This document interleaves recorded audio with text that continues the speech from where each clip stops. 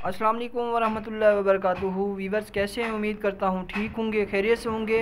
Viewers मैं हूँ doctor नसर अब्बास और आप देख रहे हैं यूट्यूब चैनल अल शिफा क्लिनिक हेल्थ एडवाइज़र।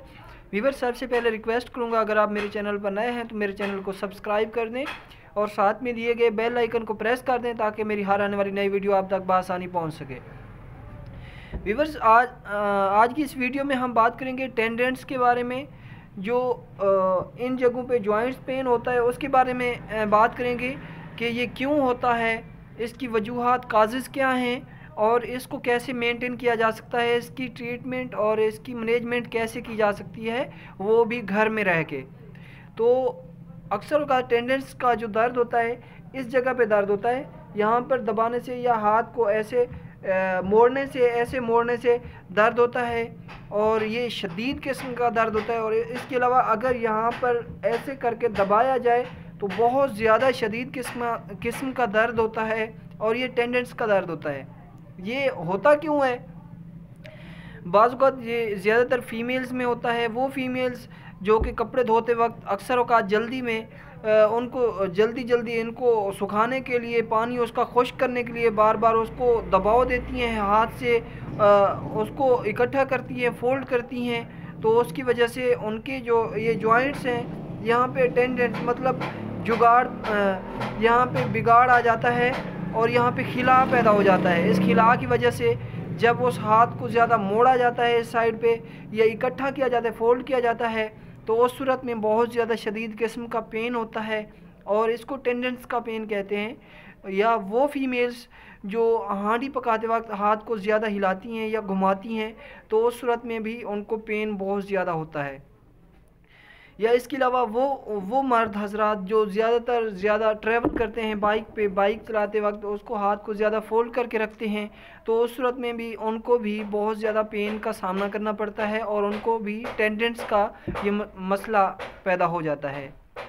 और इसकी मैनेजमेंट कैसे की जा सकती है? फ़र्स्ट ऑफ़ ऑल तो अगर इंसान को समझ आ जाए तो घर में ही उसकी मैनेजमेंट हो जाती है। घर में ही उसकी ट्रीटमेंट हो जाती है। उसकी कुछ केयर्स हैं जो कि अगर मर्द या फीमेल्स कर सकती हैं तो उससे ये टेंडेंस का मसला सौ फ़ीसद हल हो सकता है। वो ये है कि अगर कोई हाथ को ज़्यादा फोल्ड करते हैं या हाथ को ज़्यादा यूज़ करते हैं या हाथ हाथ को ज़्यादा हाथ से ट्रैवल करते हैं बाइक चलाते वक्त तो उस सूरत में हाथ ज़्यादा यूज़ होता है तो उस सूरत में अगर उसको हाथ को रेस्ट दिया जाए, घर में ज़्यादातर उसको यूज़ ना किया जाए किसी काम के लिए तो उस सूरत में उसका ये मसला हल हो सकता है। दूसरा इसका हल ये है कि अगर ज़्यादा मसला है तो उस सूरत में इसकी फ़िज़ियोथेरापी होगी। कुछ फ़िज़ियोथेरापिस्ट आपको मशीन के ज़रिए इसको गर्म करते हैं तो उस सूरत में भी ये मसला हल हो सकता है और कुछ एक्सरसाइज आपको रिकमेंड करेंगे फिजियोथेरापिस्ट तो उस सूरत में भी ये मसला हल हो सकता है। अगर इस सूरत में भी आपका मसला ना हल हो तो लास्ट है कि एक सिटीराइड का इंजेक्शन लगाया जाता है, जो कि यहाँ पर जॉइंट में ही लगाया जाता है और वो एक आपको क्वालिफाइड डॉक्टर ही लगा सकता है। अदरवाइज़ हर कोई डॉक्टर नहीं लगा सकता।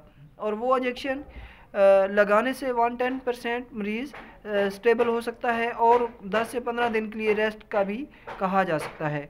और इसके अलावा वो जो इंजेक्शन है, वो हाफ़ सी सी सुरेंज से या वन सी सी सुरेंज से और जो बच्चों के लिए नीडल छब्बीस गेज की इस्तेमाल होती है, उस नीडल से लगाया जा सकता है या जिस नीडल से इंसुलिन लगाई जाती है, उस नीडल से ये इंजेक्शन लगाया जा सकता है। और ये एक क्वालिफाइड डॉक्टर ही आपको रिकमेंड कर सकता है और लगा भी वही सकता है। अदरवाइज़ हर डॉक्टर ये इंजेक्शन नहीं लगा सकता। क्योंकि ये बहुत ज़्यादा क्रिटिकल होता है। तो इसके लगाने से जब आप यहाँ पर जॉइंट में ब्रेक करेंगे तो उस सूरत में आपकी वेनें भी डैमेज हो सकती हैं।